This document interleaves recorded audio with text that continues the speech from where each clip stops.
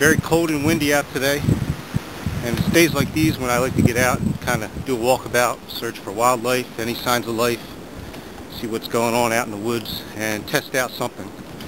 And today I'm testing out insulation. This is a heat sheet space blanket made of polyethylene. I grabbed the small or petite size. I would normally use a large, but I wanted to see if I can get some use out of this one. Its measurements are 142 centimeters wide times 213 centimeters long. That's about 56 inches wide and 84 inches long. It claims to be easy to open and refold. It's waterproof, reusable, and its other uses are a tent floor liner, light shelter, or to cover gear. And it claims to be durable, reusable, repairable, tear resistant, and quieter. It's something that people don't talk a whole lot about, but one of the most important things in this kind of environment is insulation. You know, aside from shelter and your other survival gear. If you don't have the proper insulation, you're going to be in trouble before long. And uh, it's often talk about, you know, if cotton kills and if you get wet, you die, you sweat, you die. Uh, and they are important things.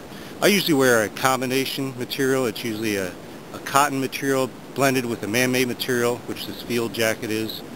But uh, I do own material that's solely man-made. But I found the best insulators to be down and wool. For me anyway, personally I find that they uh, they seem to allow the moisture to leave you and they retain the heat. So those are my suggestions. In fact I got wool socks on and my feet, even if they were to get wet, they tend to stay warm, uh, except in the most severe conditions, of course. But uh, very comfortable right now with a couple layers, and I want to test out a space blanket. In order to test it out, I of course have to take my layers off and see if it, it really works without all this clothing. What I have here is a heat sheet.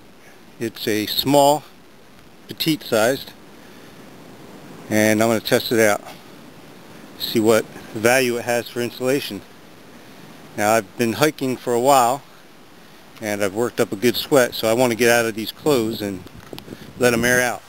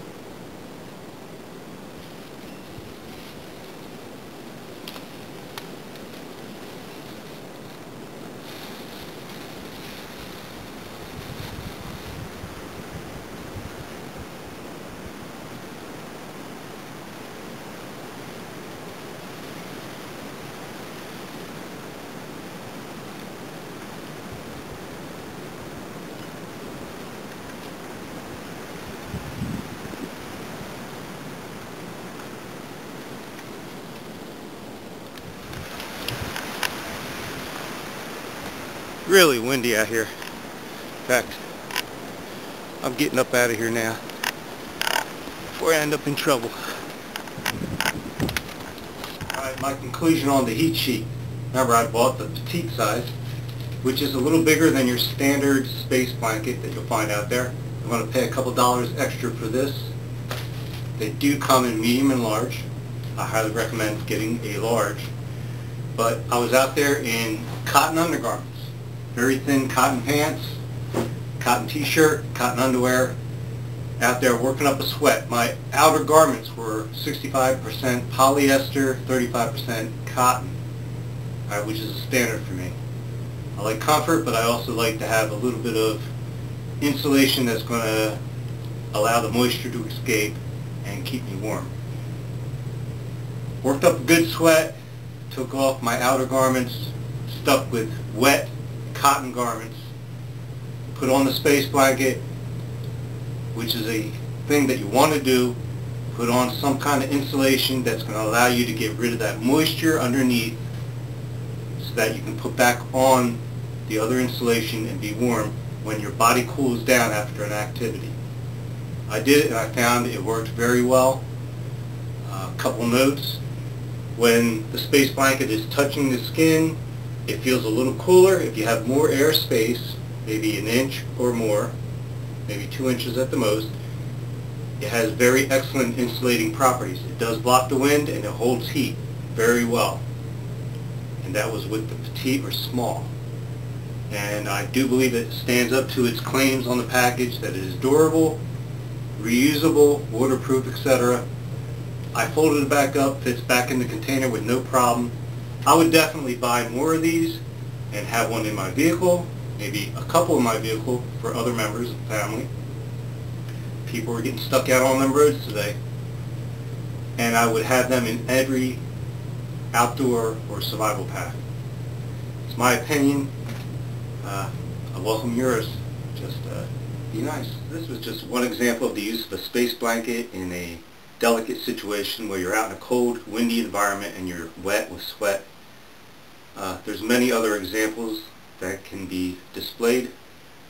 I just wanted to put one out there that would be common to people who are out hiking with common gear, not high-end gear, not survival gear, but common gear, out hiking, you're wet with sweat, say the sun's going down, it's getting really cold, and as you cool down you risk hypothermia.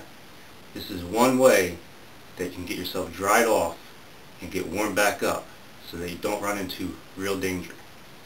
There's much more to say on insulation and I'm sure I'll be putting some stuff out on it. Uh, the stuff that I choose to wear is my personal use. Uh, I'm sure there's much better items on the market today, but uh, I'm comfortable with what I got and I learned how to use and survive in what I use. So, questions, comments, you're welcome, but uh, please remember this is just one example. This is not the end-all be-all of tests or examples of insulators.